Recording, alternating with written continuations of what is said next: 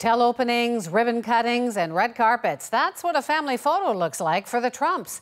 That's because for them, family and business are pretty much the same thing. Fred Trump passed his real estate empire down to his son Donald, and President Trump has kept things all in the family. His oldest son, Don Jr., along with his daughter, Ivanka, and son in law, Jared Kushner, all hold high ranking positions in the Trump organization or as his senior advisors in the White House. And this week, Trump's former lawyer and fixer, Michael Cohen, dropped some spectacular testimony that could lead to criminal charges against Don Jr.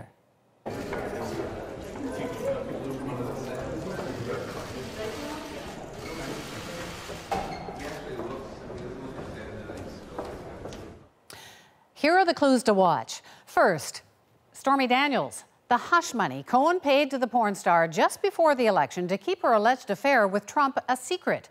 Don Jr. is now implicated in that mess because Cohen showed up to Congress with checks, one of them allegedly signed by Don Jr. And what were the checks for? Cohen says it was all part of that scheme to keep Stormy quiet.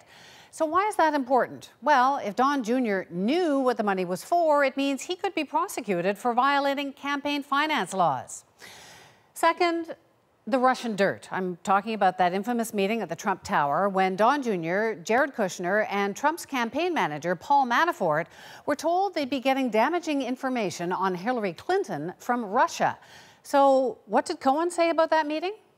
I recall Don Jr. Leave, leaning over to his father and speaking in a low voice, which I could clearly hear, and saying, The meeting is all set.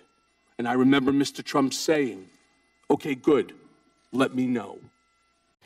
That contradicts what Don Jr. told U.S. lawmakers two years ago under oath when asked, Did you inform your father about the meeting or the underlying offer prior to the meeting? And he answered simply, No, I did not. If he lied, that's another crime.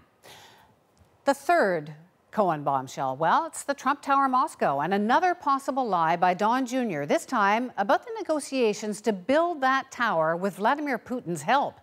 Don Jr. has said he knew very little. Again, he said it under oath to U.S. lawmakers, and you can go to jail for lying to Congress. But Cohen testified that Don Jr. and Ivanka were kept well informed about the tower deal. Listen to this. Who were the family members that you briefed on the Trump Tower Moscow project? Don Trump Jr. and Ivanka Trump.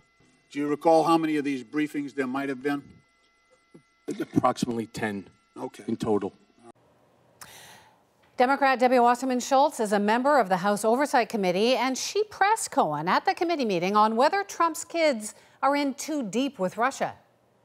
The company was involved in the deal, which meant that the family was involved in the deal.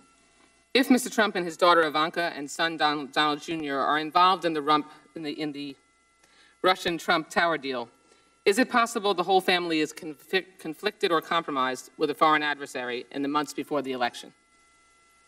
Yes.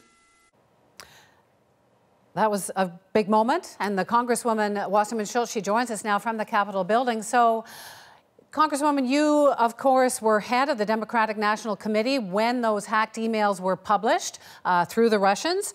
Uh, now, Michael Cohen has said that Donald Trump Jr. and Sr. knew way more about that meeting than they uh, have revealed. Uh, you want to hear from Don, Don Jr. before the House. What, what are you hoping to ask him? Well, the, the purpose of doing hearings like we did with Michael Cohen is to shine a light on the darkness. Uh, and, and there has been plenty of darkness when it comes to the actions that have been taken by Donald Trump, by Ivanka and, and Jared, uh, Ivanka Trump, Jared Kushner, both of whom work in the White House now, both of whom apparently, as a result of questioning, could possibly have been compromised by the, the Russians because they were involved in a major business deal that was lied about and concealed, even though that was supposed to have been terminated according to the, to, to the testimony and the statements made by the president and his family members and his uh, associates. So we have to get to the bottom of this and, and get these questions answered. The only way we can do that is if we have these individuals come before the, the, the Congress and we have an opportunity, whether it's in public or in private, to ask them questions. Being able to show the American people that Congress is acting in, even if we don't have a president who respects our Constitution and will act in the national interest, they do have a, a, Congress that will do so, and that's what being uh, that, that's what elections are all about. De Democrats are in the majority now. Elections have consequences, and thankfully, it's oversight and accountability that are the consequences of this past election. How significant was Cohen's testimony about that check that Don Jr. Uh, allegedly signed that was made to reimburse him for the for the Stormy Daniels hush money?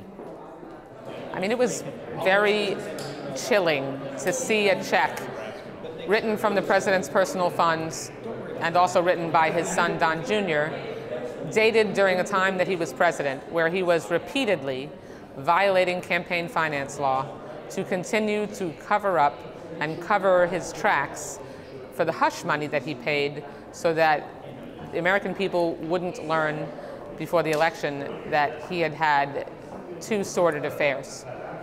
The, the sordid affairs aren't what's important. It's the cover up that's important. And we have to make sure that we can continue to get more in information so the American people have an opportunity to make decisions about what needs to happen going forward, and they do the, they make those decisions through their representatives in Congress. And then, of course, we have an election coming up in 2020, so that'll that, that'll be important information for the American people to have for that purpose as well. More to come. Debbie Wasserman, thank you so much. Thanks for talking to us. You're welcome.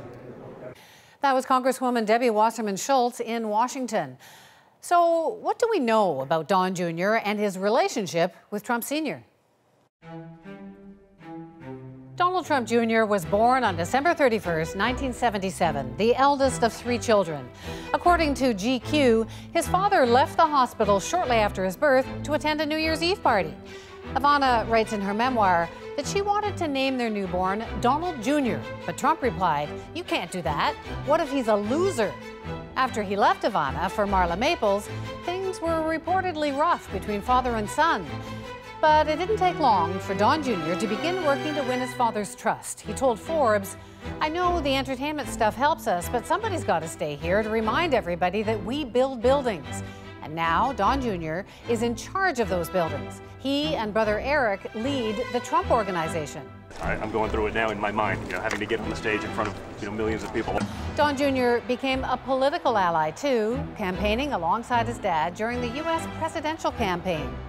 But what do we really know about their father son relationship? Mr. Trump had frequently told me and others that his son Don Jr. had the worst judgment of anyone in the world. And there sure have been questions about his judgment. He once claimed that if his father acted like Hillary Clinton, quote, they'd be warming up the gas chamber. And then there's the infamous Skittles tweet comparing refugees to poisoned candies. Don Jr. wrote, If I had a bowl of Skittles and I told you just three would kill, would you take a handful? The tweet ignited outrage, but it also attracted support from the alt right wing of Trump's base. Like his dad, Don Jr. has millions of followers on Twitter. The Democrats hate Trump. And he's a frequent guest on Fox. Their dream in life is to try to find something to get Trump. The divorced father of five is even dating a former Fox anchor. But if Cohen's allegations are true, his father still doesn't really trust his son. His dad may not trust Don Jr.'s judgment. The Democrats in Congress want him to testify. And if it's true that you can't indict a sitting U.S. president, maybe his family is the next target. Joining me to talk about that is Jill Wine-Banks. She's a former prosecutor who was involved in the Watergate investigation. She's in Milwaukee. So, Jill, do you think that the evidence is there from Cohen's testimony and maybe other places to, to actually indict a member of Donald Trump's family? The meeting in Trump Tower is a clear sign of cooperation with the Russians. They were clearly willing and ready to accept that information. They were cheerful about it. All you have to do is look at the emails that preceded the meeting where Don Jr. says, if that's what it is, I love it.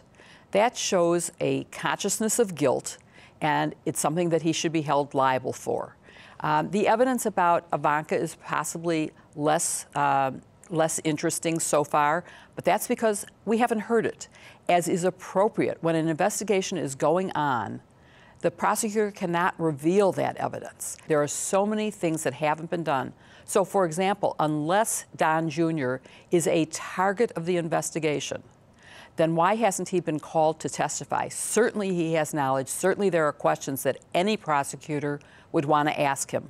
So that makes me think that he is possibly a potential indictee and that we should wait to jump to conclusions until we hear that happen. That would be a really big deal. Um, and of course, in the meantime, uh, the Democrats in the House, they want to hear from Don Jr., they want to hear from Ivanka and Jared Kushner. How key are they to getting to the bottom of the Donald Trump story? So they have good knowledge about dealings with Russia that are, of course, inconsistent with their own testimony, particularly Don Jr.'s testimony about the Trump Tower and dealings with Russia in general. And the key to their testimony is whether they could be the thing that makes Donald Trump cave. Does he care enough about his children should they be found guilty of any crimes and be indicted? Would that be something that he would be willing to take action to protect them? There is this big debate about whether or not a sitting president can be indicted or not. You don't agree uh, that he can't be indicted. But a family member could be, could go to jail. Do you see that as a good tactic for almost trying to strong arm him into telling the truth, cutting a deal, resigning? Of course, there's no question that family members can be indicted. I think it's equally unquestioned that the sitting president can be. A vice president has been and can be. There's nothing in our Constitution that would limit indictment of a president, even while he's a sitting president. And no one is above the law in America, and no one should be above the law. And if a president can't be indicted, that leaves only impeachment, which is a political decision. That doesn't address criminal violations of existing law. And so I think he should be, but certainly you are correct that family members can be.